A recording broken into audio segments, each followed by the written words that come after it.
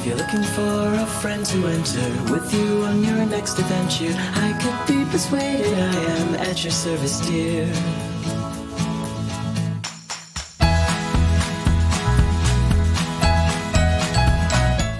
¿Qué tal? Muy buenas noches y bienvenidos un día más a 10 años contigo. Hoy toca tercera y última entrega de las fiestas de nuestros queridos pueblos. No podemos ponerlos todos porque son 225 los municipios que tenemos en nuestra provincia. Así que sin repetir, vamos con ellos. Hasta la parrilla se acercaba nuestro compañero de 8 Magazine en el año 2016, Alfonso Arranz, y se empapaba bien de toda la fiesta con el desfile de peñas y sus originales disfraces. Está a punto de arrancar ese pistoletazo de salida, ese pregón para dar inicio a las fiestas de San Francisco de San Miguel. Como ven, la plaza ya está llena, está rebosante de música, de disfraces, de niños, de familias, para que lo vivan ustedes en primera persona. Así que, por favor, maestro, comenzamos las fiestas. ¡Adelante! Aquí, aquí, subiros aquí.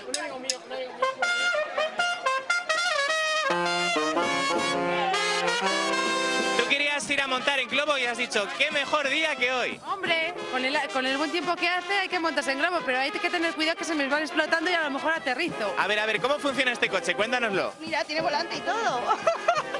Bueno, ¿qué es lo que vais a hacer hoy para tener una buena noche? Empezamos con una de carrozas, a un desfile de carrozas. Vamos a seguir con un encierro taurino y después una verbena taurina en la Plaza Toros. En un lugar de Castilla y León, de cuyo nombre sí me acuerdo porque es la parrilla, ¿no, señor Don Quijote, señor Sancho? Soy Sancho, Sancho. Ah, bueno, ¿qué tal llevan ustedes sus intrépidas aventuras por los parajes? Pues muy bien, ¿cómo vamos a, cómo vamos a llevarlo? Pues bien. También está la bella Dulcinea del Toboso. Casi, casi. La Dulcinea y Bella. Yo creo que el esfuerzo que estamos consiguiendo de poder mejorar estas fiestas de la parrilla, que llevamos años sin plaza de toros y sin encierros tan buenos como los que vamos a tener hoy, creo que, que esta, la gente está muchísimo ilusionada vamos, con, con las ganas que, que tienen de poder disfrutar de las fiestas. Y para cortar ese rico choricito, ¿no? Sí, pero que se le come todo el Sancho, el escudero, ¿no le ves? A ver, vamos a ver si nos da por aquí. Sancho, ¿me puede usted partir un poquito de chorizo para el camino? Lo que haga falta. Toma. Que pasar frío, pero hombre no. De todo. De todo que haya que comer y bailar. Pues saben ustedes en qué ha acabado este maravilloso desfile de peñas. En este hermoso baile, donde toda la gente puede mostrar sus dotes artísticas y sobre todo eso, un gran colofón para este día que todavía seguirán de actividades hasta por la noche.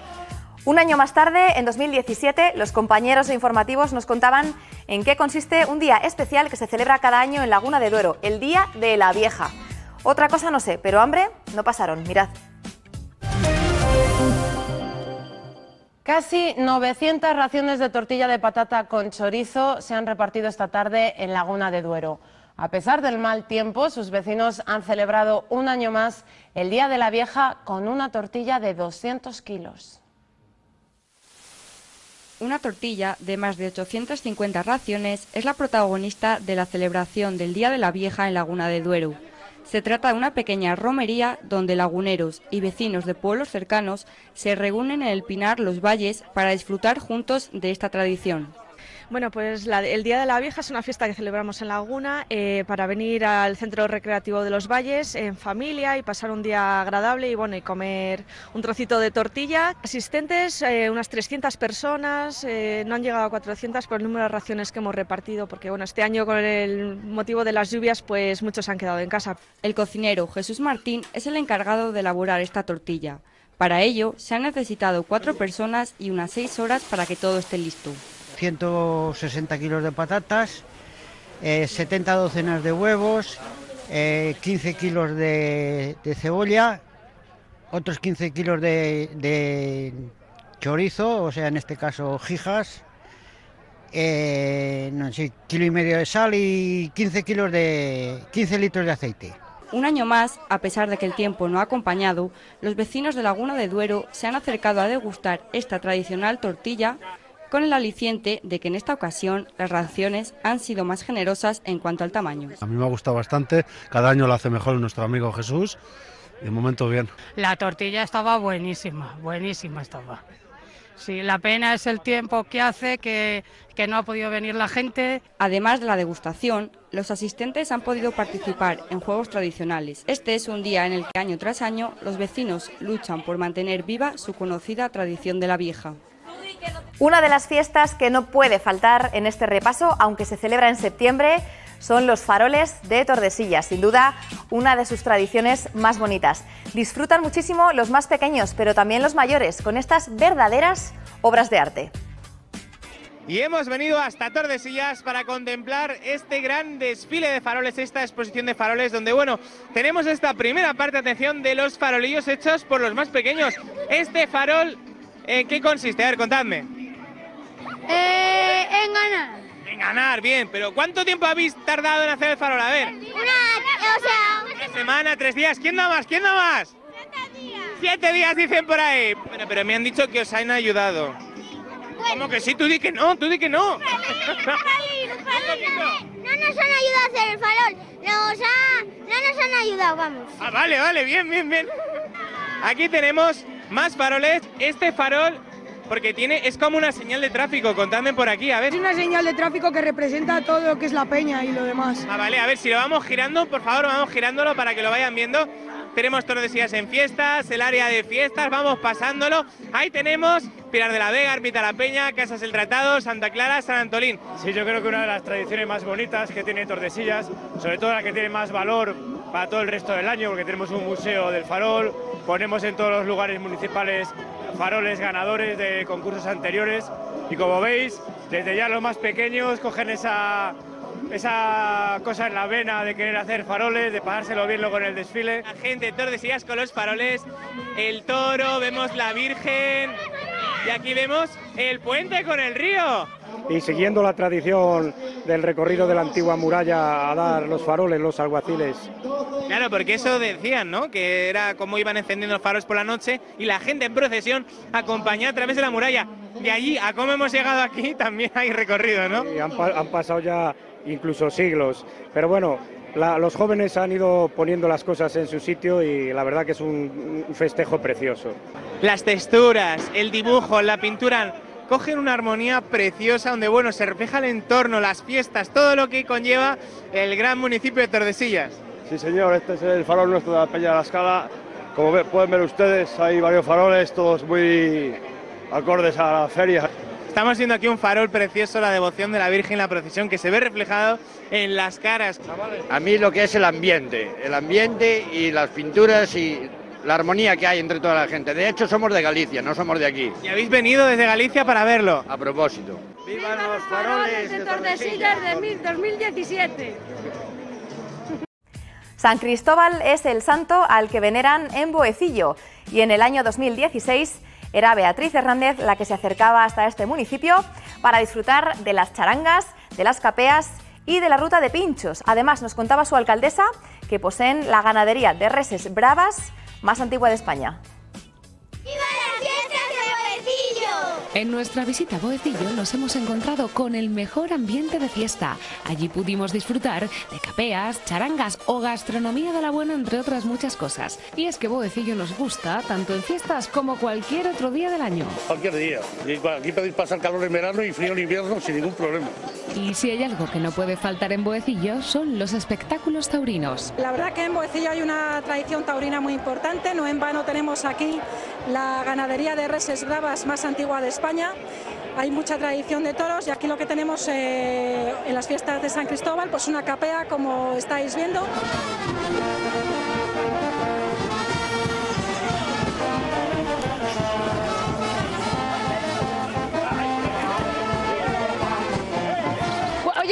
Qué pasa, qué, qué está pasando ahora mismo. A mí me da mucho miedo los toros. Pero tú tranquila que aquí no llegan, cariño. Y no ven Pues mira, un pequeñito. Ahora es pequeño. Ahora es un toro corredor.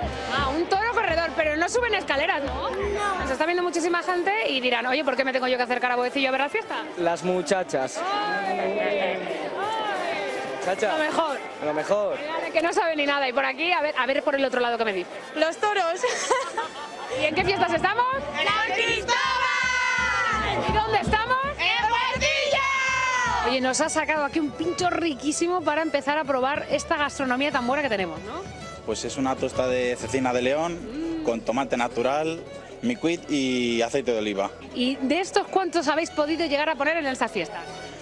Bastantes, eh, 150, 200. En mis tiempos no había ni fiesta, ¿Y eso cómo era? pues porque era la Virgen de la Salve y el patrón le teníamos abandonado. Entonces yo preparaba alguna fiesta, una discomovida, una que hicimos toros con mi hermano y con el Taru, hicimos los tres. Bueno, perdimos dinero, pero, pero nos lo pasamos muy bien. Eso es lo importante, ¿no? En una fiesta. Y además hubo mucha gente, mucha gente. Año 2014, programa Valladolid es así. Y Alfonso Arranz como reportero de las fiestas de Villalar de los Comuneros. Sí, que además del 23 de abril también celebran San Roque como el resto de pueblos de España. Alfonso trabajó, pero de peña en peña. ¡Viva las fiestas de Villalar!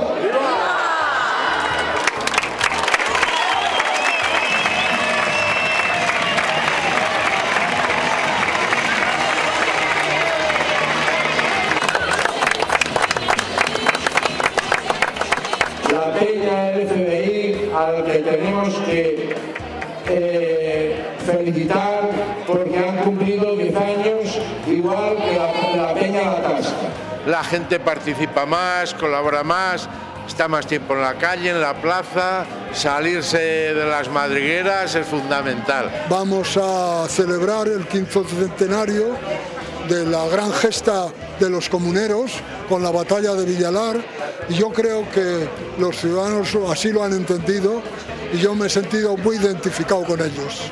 Siendo como soy hijo eh, adoptivo, pues eh, esa sensación de ir entrando en la familia con cierta emoción.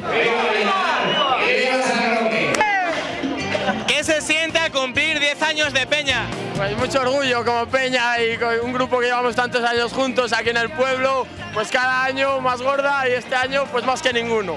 ¿Cuál es el éxito de durar tanto? Pues sentirnos siempre como al principio, que no haya malos rollos entre nosotros y un mismo fin, disfrutar de las fiestas todos juntos. Y nos quedan muchos más años, mucho. Pues venga, venga el pañuelo, por favor. ¡Viva Villalar! ¿Cuál es lo que más te gusta aquí de Villalar? Los toros. ¡Los toros! Haznos aquí una demostración de un buen toreo. Venga, adelante.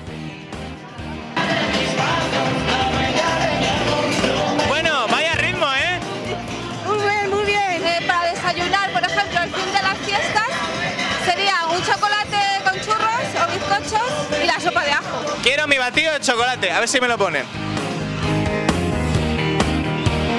hablando con la gente y pasar pues hasta que salga el sol y hasta que te canses y te quedas ir a la cama. Yo me voy a quedar aquí a comer bien, bien, que tengo aquí las costillas preparadas. Un poco antes, a mediados de junio, se celebra San Antonio de Padua en Arroyo de la Encomienda. El año pasado, los compañeros de 8 Magazine acudían a las fiestas en las que, después de la misa, sacan al santo a hombros en procesión por todo el pueblo. Sin duda, uno de los momentos más especiales para todos sus vecinos. Bueno, y el rato de los pinchos también.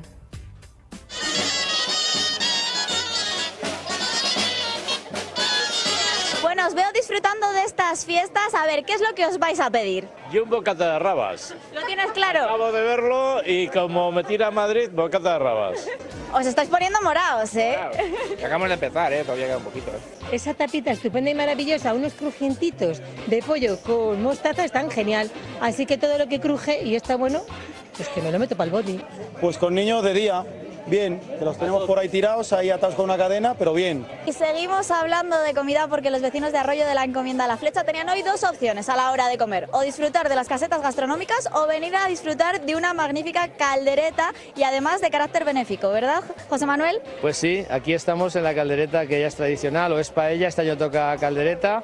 Hay para unas 1.600, 1.700 raciones y aquí nos encontramos, bueno, cada vez está viniendo más gente, que es lo normal. Yo creo que es un día bonito, hace buen tiempo, pues ¿qué más queremos? Se confraterniza y es de eso se trata. ¿Cómo se llama vuestra peña? Eh, resacón de la flecha. ¿Los? Bereberes. ¿Por qué? Pues porque somos un ejército fuerte. La sagrada bebida.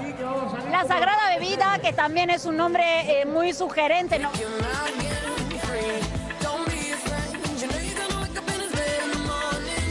Nos remontamos ahora hasta el año 2013, porque en Medina de Río Seco se celebran con gran entusiasmo las fiestas de San Juan. Ese año contaron con unas pregoneras de excepción, las chicas de la Escuela Deportiva de Gimnasia Ríndica. Bueno, y tampoco podemos dejar de resaltar las peñas incombustibles. ¡Viva San Juan! Cedo la palabra al grupo de gimnasia rítmica que tantas alegrías nos ha dado durante estos últimos años. Queremos dedicaros todos nuestros triunfos a todos vosotros. ¡Viva San Juan! ¡Viva! ¡Viva Medina de Río Seco!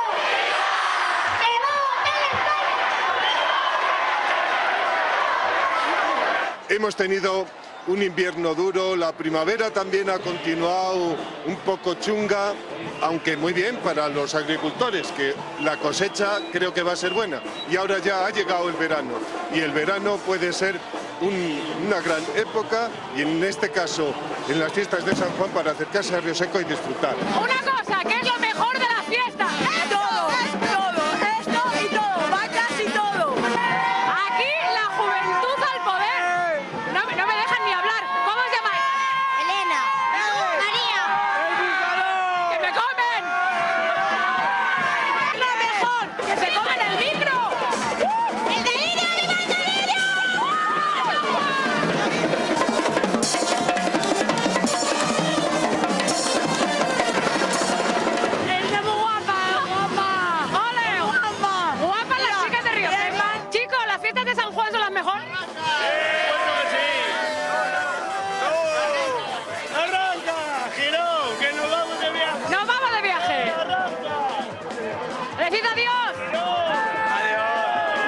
para terminar con las fiestas de nuestros pueblos, vamos ahora con Simancas y su tradición de las siete doncellas. Los chicos de 8 Magazine viajaban hasta este municipio para enseñarnos la representación que se hizo en 2016 de esta tradición, con los propios vecinos como actores y sastres de estos maravillosos trajes. Nos encontramos en Simancas, en la jura del rey Ramiro I, que hizo la renuncia de las siete mancas, ya sabéis, esas doncellas que se cortaron la mano para no pertenecer al rey Abderramán II. Y el rey dijo al recibirlas, si mancas me las dais, mancas no las quiero. Pero mejor que contárselo yo, lo vemos a través de esta maravillosa representación.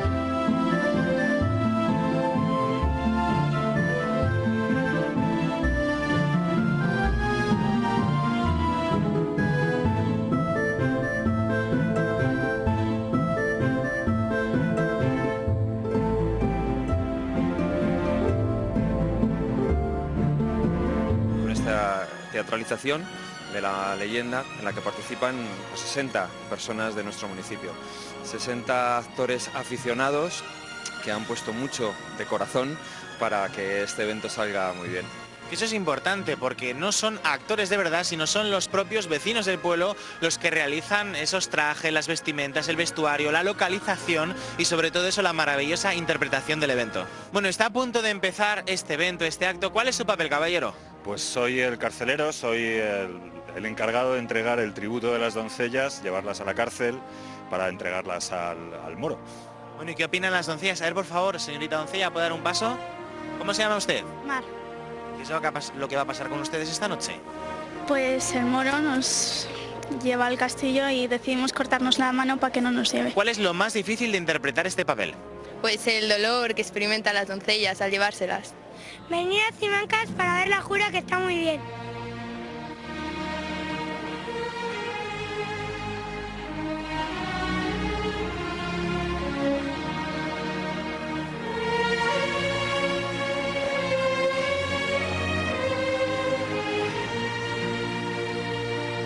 Habéis tenido una pelea muy bonita, una pelea con mucha coreografía, eh, unos palos, música de fondo.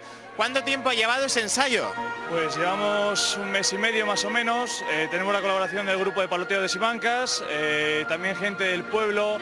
Nos hemos, eh, ha colaborado con nosotros un grupo de teatro que nos ha ayudado, nos ha dado lecciones. Además para nosotros es un orgullo poder representar a la villa en, en la jura, que es la historia de nuestro pueblo y felices. ¿Qué os ha pasado en el rostro, en las manos? Cuéntame. Pues hemos representado que en el momento en que nos cortábamos las manos para y la, la sangre un poco de la cara, pues para interpretarlo mejor. Bueno, y la historia narra que al final vosotras siete entráis en un convento para el resto de vuestra vida, ¿no? Sí, y, y nos, y nos hacemos monjas y, y nos quedamos allí. Un gran sabor de boca después de paladear la historia de este municipio a través de una increíble representación a manos de sus vecinos. Vamos ahora con la sección en la que conocemos un poquito más a los compañeros de la 8 Valladolid, pero no todo es estar delante o detrás de las cámaras. También contamos con un estupendo departamento de publicidad, importantísimo, por cierto, 8 staff.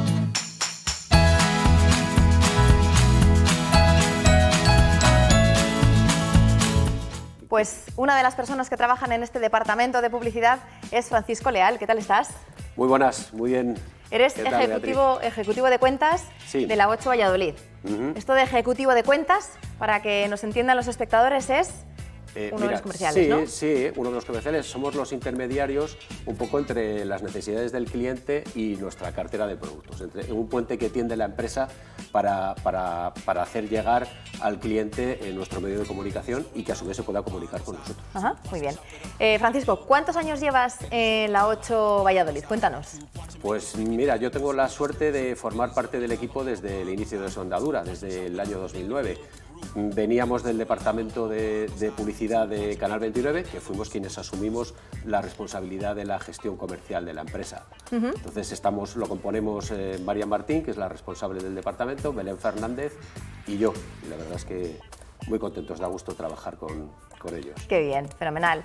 El trato con los compañeros es muy importante también a la hora de que el trabajo salga adelante, claro. Sin duda, sin duda. Eh, el crear una atmósfera de, de trabajo positiva y de colaboración es fundamental y es uno de los, de, de los motivos por los que llevemos tantos años los componentes del departamento, porque trabajamos muy a gusto y nos entendemos muy bien. Eso es clave. Francisco, cuéntanos, eh, en, esto, en esta larga trayectoria que ya llevas en la 8 Valladolid y antes en Canal 29, eh, seguro que han surgido anécdotas, ¿no? Algo que, que contar, que reseñar, eh, buenos momentos y seguro que también malos. Pero vamos a empezar por los Sí. buenos. ¿Qué- ¿De qué te acuerdas especialmente? Eh, bueno, pues eh, sí, efectivamente pues tenemos muchísimas, muchísimas anécdotas ¿no? en nuestro día a día.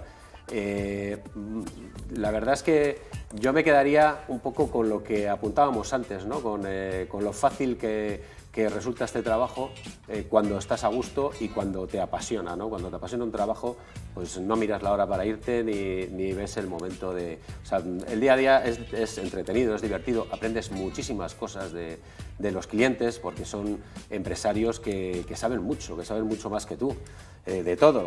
Y entonces, pues cada día llegas a casa con algo aprendido. Yo me quedaría, eso es lo más positivo de, de nuestro trabajo. ¿Y algo negativo por contra? ¿Ha sucedido Eh, algo en esta trayectoria sí, que te acuerdes o un sí. mal día, una mala gestión, algo que sucedió? Sí, por supuesto, claro. Eh, bueno, pues en una década como la que estamos hablando, pues pasan muchas cosas, ¿no? Hemos perdido eh, algún cliente que ha fallecido y lo sentimos mucho porque nos gusta establecer con ellos pues, relaciones de, eh, de largo plazo, ¿no? De fidelidad y, y, bueno, pues al final son algo más que clientes, ¿no? Y lo lamentas mucho, ¿no? Sinceramente. Y luego, por otra parte, eh, el, date cuenta de que eh, la 8 la 8 de Valladolid inició su andadura en plena crisis económica.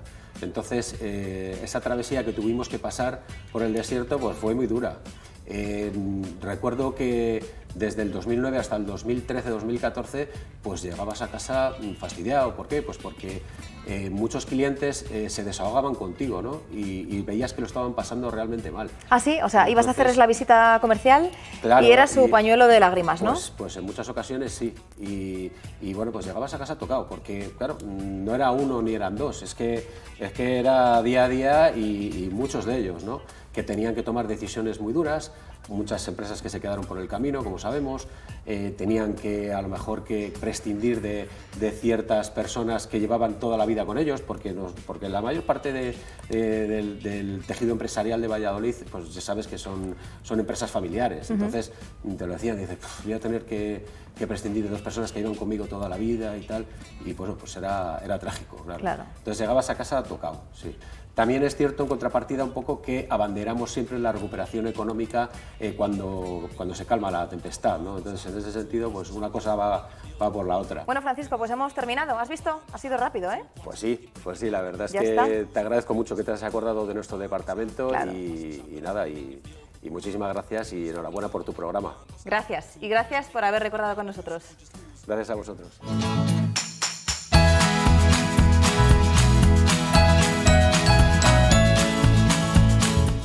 Para que luego digan que en Valladolid somos fríos y sosos. Tenemos unos cómicos como la copa de un pino, que además siempre están ahí cuando los necesitamos. En el año 2017 los teníamos aquí, a los chicos de Humor de Protección Oficial. Daba la bienvenida al nuevo año. Ya sé que no estamos en Navidades, pero es que no podía dejarlo pasar.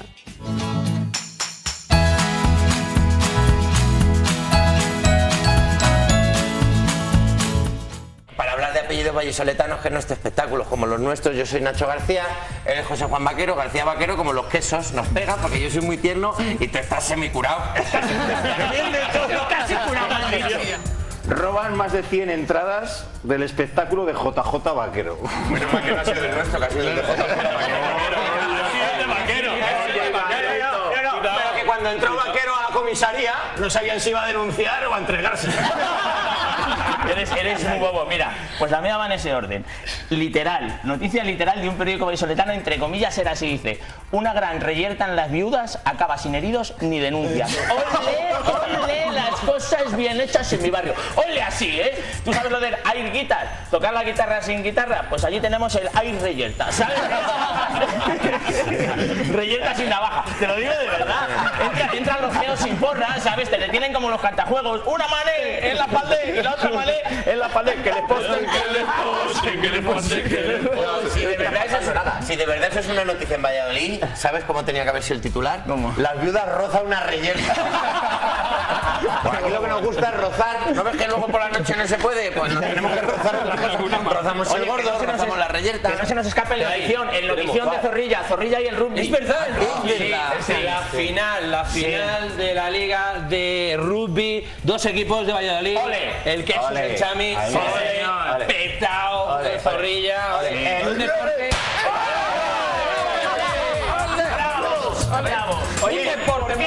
porque es un deporte muy vallisoletano. claro que sí, me le, me le grabé el partido, me le grabé. Sí, sí, es un deporte muy... Yo, yo, mira, llevo una camiseta de rugby y yo me he lesionado viendo un partido de rugby. Yo este año voy a pedir no correr. Voy a, intentar, voy a intentar acabar el año 2017 sin empezar a correr, porque como todo el mundo corre ahora, lo difícil es no correr. ¿Tú sabes lo difícil que es no llegar a tiempo al autobús, ver que el autobús se va a cerrar la puerta y no correr? Y como mucho, a esta velocidad. No pienso pasar de esta, de esta velocidad este año, no lo voy a hacer. Yo voy a pedir que mi hija apruebe todo. Porque no, no aprueba y habla y dice, no me gusta la zanahoria, pero si no la ha probado. Yo, José, José, yo te voy a decir una cosa, mira, no me pedir nada este año porque ya me lo ha dicho mi mujer. Me ha dicho mi mujer que este año nos iba a ir de cine. Yo solo espero que sea porno. si no te falta de nada. Si no te falta de nada, si yo tuviera tus tetas. ¿Y tú, Patilla? Yo voy a pedir, el, eh, yo ya no quiero más hijos. Ya no. Menos tampoco, ya que les he cogido el cariño, pero yo quiero los mismos. ¿Cuántos No, tienes? 14. Para este 2017 quiero la niña. La sección Musicalizando la protagoniza hoy el grupo Revolver, que actuaba en Valladolid en el año 2017 dentro del espacio Conexión Valladolid.